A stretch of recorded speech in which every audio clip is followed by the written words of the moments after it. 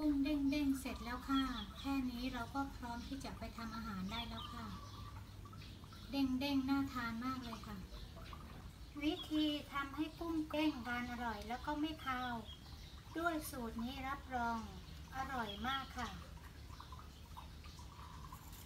เกลือค่ะ จะใช้เกลือป่นหรือเกลือเม็ด อันนี้เราใช้เป็นดอกเกลือนะคะหนึ่งช้อนค่ะ แป้งมันหนึ่งช้อนค่ะ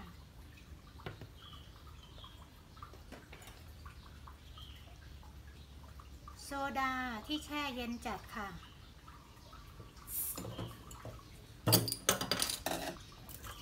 เทพอให้ท่วมกุ้งค่ะ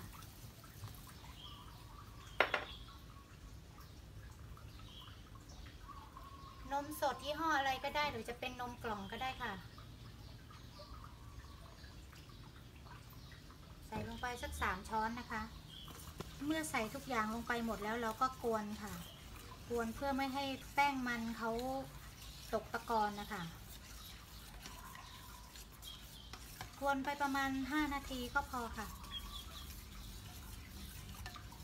กวนจนครบ 5 นาทีแล้วเราก็ล้างด้วยน้ำเปล่าอีกสักสองน้ำนะคะ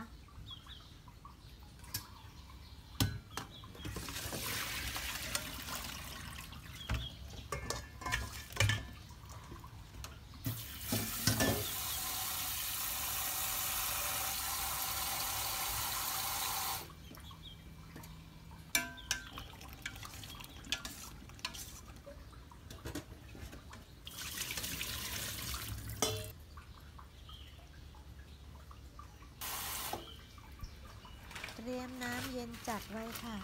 จะใช้น้ำที่แช่ตู้หรือจะเอาน้ำแข็งใส่ก็ได้ค่ะ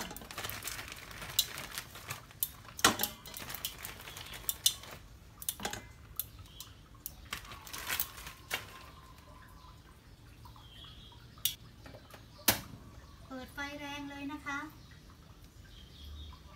น้ำใส่ลงไปแค่พอให้ท่วมตัวกุ้งเวลาลวกนะคะ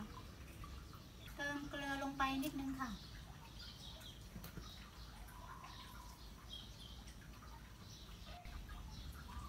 แล้วก็ใส่ ไคร้ใบมะกรูดไปเพื่อเพิ่มความหอมด้วยนะคะ เมื่อน้ำเดือดจัดดีแล้วเราก็ใส่กุ้งลงไปเลยค่ะ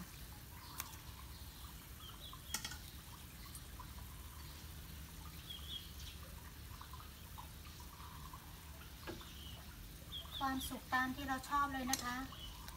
ของเราจะเอาแค่พอสะดุ้งแค่นี้ค่ะ แล้วก็ปิดไฟเลยค่ะ